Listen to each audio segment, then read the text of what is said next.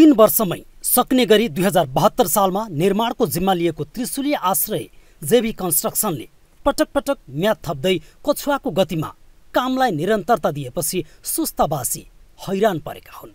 सुस्तावासी कहिले पुल बन्छ र डुङ्गाको जोखिमपूर्ण यात्रा तथा भारतीय हेपाई कम हुन्छ भन्ने प्रतीक्षामा रहेका छन्।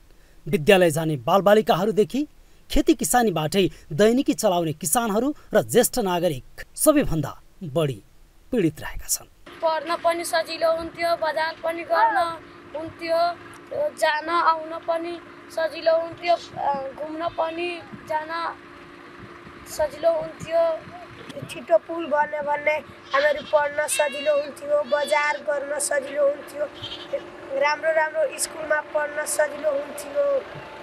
त्यस्तै नारायणी पारीका किसानहरूले पुल नहुँदा वारिपारी गर्न समस्या हुने गरेको बताएका छन्। किसानले दुध लगायत उत्पादित तरकारीले बजार नपाएको गुनासो समेत गरेका छन्। डुङ्गाको जोखिमपूर्ण यात्रा गरी वारपार गर्नुपर्ने अवस्थामा पुल बनेमा आफूहरूलाई वर्षायाममा समेत दुध लगायत अन्य तरकारीहरू निर्यात गर्न सजिलो हुने स्थानीय किसान बताउँछन्। धेरै सहयोग हुन्छ त्यो आदिबारी जानेको समस्या त धेरै राम्रो हुन्छ। त्यो अरूको काम गर्ने भने त्यो राम्रो हुन्छ। त्यो दुधको बिक्री पनि त्योहरू बढ्छ।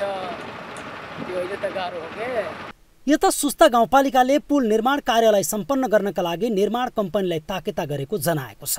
अहिले पुलका सबै पिल्लरहरूको काम र लट्ठा तान्ने काम पनि सकिएकाले। आउने मङ्सिरसम्म पुल निर्माण सम्पन्न हुने विश्वास लिएको सुस्ता गाउँपालिकाका अध्यक्ष टेक नारायण उपाध्यायको भनाइ छ। त्यो पुल लगभग अन्तिम अन्तिम चरणमा पुगेको छ। मुक्सिर पुसतिर तयार गर्छु भनेको छ ठेलारले त्यससँग विश्वास छ तयार हुन्छ होला। सबै पिलरहरू तयार भइसकेका छन्। लट्ठ पनि केही तानिसकेको छ। अब अब हुने काम बाढी आए पनि रोकिँदैन। बाढीमा गर्न नसक्ने भनेको पिल्लर उठाउन हो। तलको पाया जति सबै उठाएर सम्पन्न भएको छ लक्ष्य तानेको छ। त्यसपछि अब मुक्सिरपुरसम्म पक्कै बन्छ भन्ने कुरामा हामी विश्वास छौँ। बिस करोड तिरानब्बे लाख उना अस्सी हजार चार सय छिहत्तर रुपियाँको लागतमा एक किलोमिटर पाँच सय एकहत्तर मिटर लम्बाइ र एक दशमलव छ मिटर फराकिलो निर्माणाधीन पुल निर्माणको कार्य अहिले पचहत्तर प्रतिशत सकिएको छ। आउँदो दसैँसम्म पुल सम्पन्न गर्ने लक्ष्य लिएको निर्माण कम्पनीले जनाएको छ।